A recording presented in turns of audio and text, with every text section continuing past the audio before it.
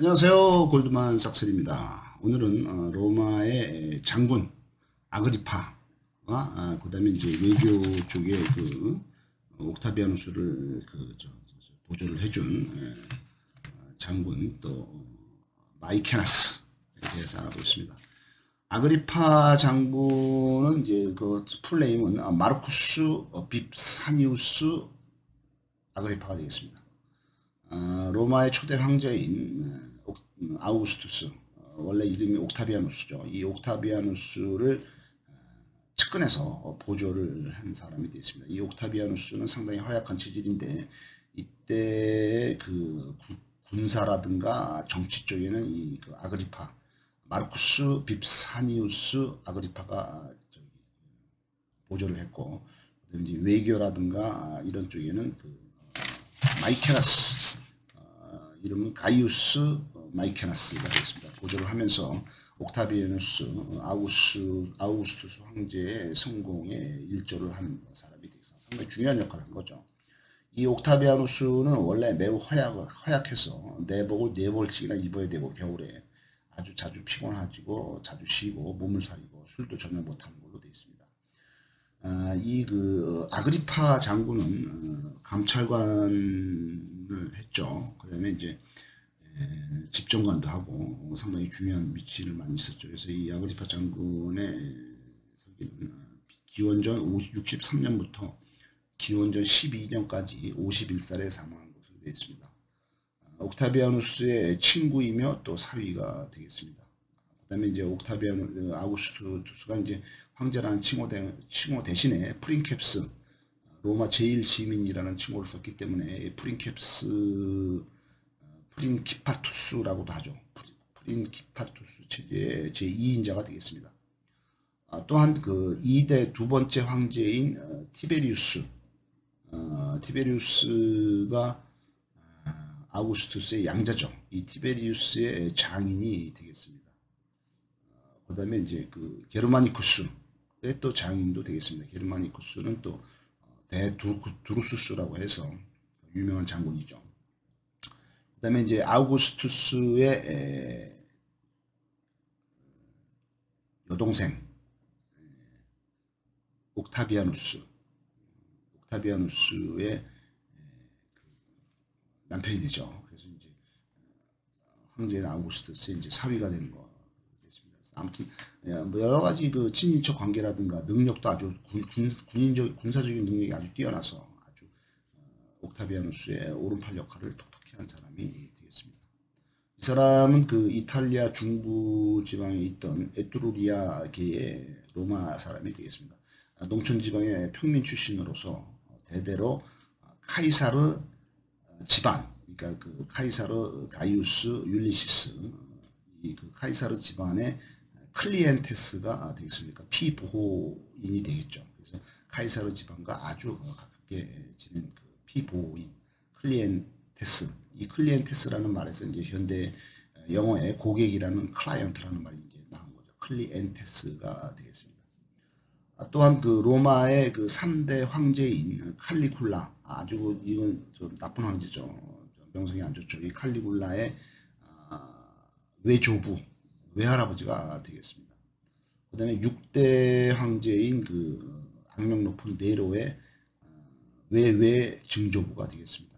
그 외, 외 할아버지 계통인 거죠. 그래서 어, 이그 아그리파는 그 옥타비아누스의 정적인 안토니우스를 격파를 한 것이 되겠습니다. 또한 어, 하드리아누스 황제 때 개보수된 하드리아누스 황제가 개보수한 그 판테온 신전 이 판테온 신전을 다시 건축을 하고 이 판테온 신전을 건축을 한 거는 왜냐하면 악티움 해전에서 안토니우스를 격퇴를 하고 승리한 그 기념으로 했다고 합니다. 또한 어, 건축에 관심이 많아서 수많은 목욕탕하고 공공 건축물을 건축을 합니다. 도로도 건축하고 수도 뭐 이런 건축을 하고 그래서 어, 이 사람이 건축한 수도관에는 어, 비르고 수도라는 게 있고 또 율리아 수도라는 것이 있습니다. 그 다음에 아그리파 목욕탕이라고 아, 대형 목욕탕을 건축을 하게 되었습니다.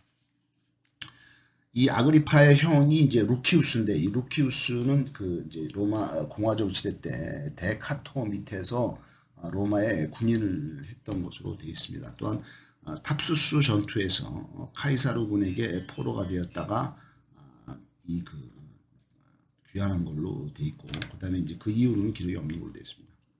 이 마르쿠스 빕사니우스 아그리파는 기원전 45년에 18살 때 카이사르의 로마군의 자원에서 입대를 하고 문다 전투에 참전하게 되었습니다. 그다음에 어, 그다음부터는 이제 그 옥타비아누스를 보좌를 하고 보완을 해주면서 옥 타비아누스가 부족했던 군사적인 재능, 허약 이런 거를 보충해 주입니다. 카이사르가 이 아그리파를 그 자기 양아들의 그 측근으로 만들기 위해서 카이사르가 직접 교육도 했다고 되어 있습니다.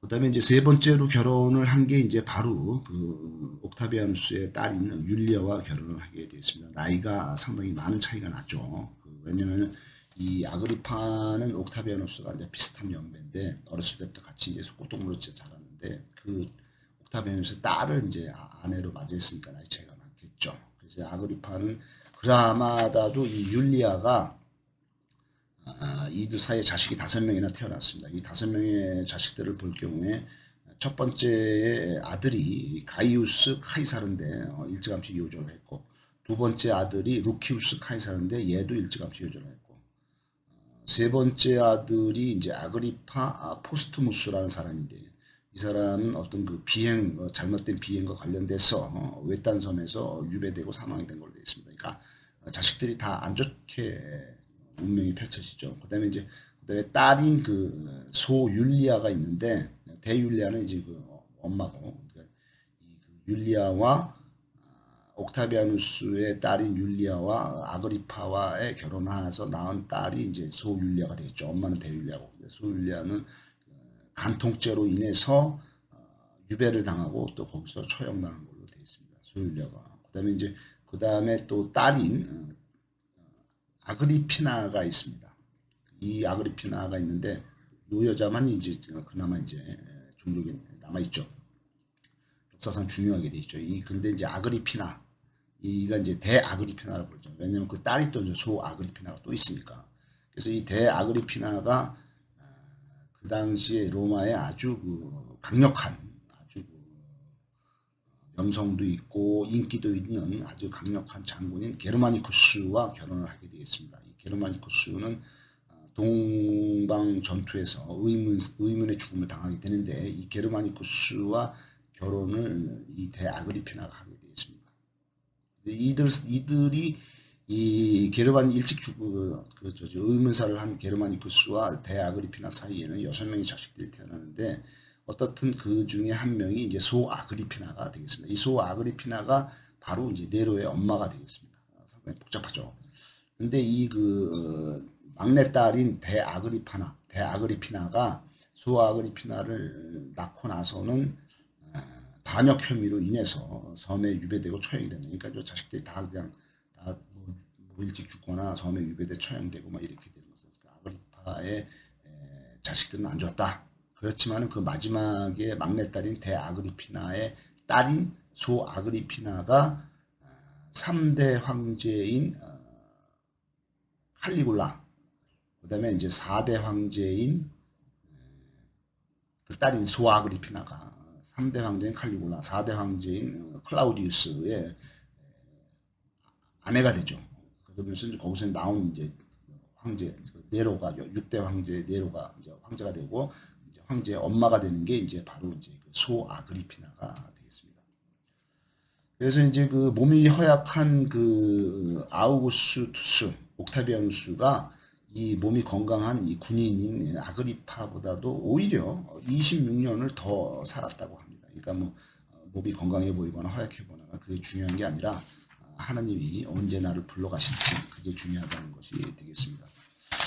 그 다음에 이제 또 한 명의 그 옥타비아누스의 측근, 그 다음에 외교 담당이 누구냐면 가이우스 마이케나스가 되겠습니다. 이 사람은 어, 옥타비아누스를 이제 고문, 개인 고문을 하면서 아그리파와 대립을 하게 되어 있습니다. 이 마이케나스는 기원전 68년부터 기원전 8년까지 60살까지 살은 걸로 되어 있습니다. 아까 아그리파는 51살에 죽었네요. 근데 이 사람은 60살까지 살았네요. 그래서 기원전 42년에 26살 때 어, 필리피 전투라 26살 때 젊을 때죠. 어, 필리피 전투에서 옥타비아누스를 만나게 되었습니다. 그다음에 이제 옥타비아누스, 그다음에 안토니우스, 아, 그다음에 레피두스 이 세 명의 삼두 정치 체제를 직접 경험을 하게 되겠습니다. 아, 레피두스죠, 레피두스. 그 다음에 어, 기원전 30년 어, 38살 때는 어, 로마의 에, 어, 로마의 그 내전이 이제 종식이 되고 어, 이쪽 그 옥타비아누스 측이 이기죠. 그 다음에 아, 이 사람은 특히 그 문화에 대해서 관심이 많아서 어, 로마의 시인인 어, 베르길리우스와 호라티우스를 지원을 해줍니다. 그래서 여러 가지 그, 재정 지원도 해주고 뭐 직, 뭐 직책 같은 것도 주고 뭐 이러면서 하면서 어, 그이 호라티우스라는 시인은 어, 마이케나스의 이 지원을 받고서 아우구스투스에 대한 아, 찬양 시를 쓰기도 합니다. 기원전 17년 51살 때 호리, 호라티우스가 축전가를 쓰고 어, 베르길리우스라는 시인이 아이네아스라는 그 서사시를 쓰게 됩니다. 이 아이네아스는 어, 영웅을 말하죠. 그래서 이제 그이 아이네아스가 그 아우구스투스 황제의 이 선조다 이렇게 이제 그 칭송을 하는 거죠. 그러니까 아, 당시 황제인 아우구스투스를 칭송하기 위해서 선조인 아이, 아이네아스에 대한 아, 상당히 유명한 서사시를 쓴 로마의 시인이 아, 베르길리우스가 되겠습니다. 기원전 8년에 60살이 되었을 때 전 재산을 아우구스투스한테 넘기고 어, 사망한 걸로 되어 있는 것이 로마의 외교 담당 어, 가이우스 마이케나스가 되겠습니다. 감사합니다.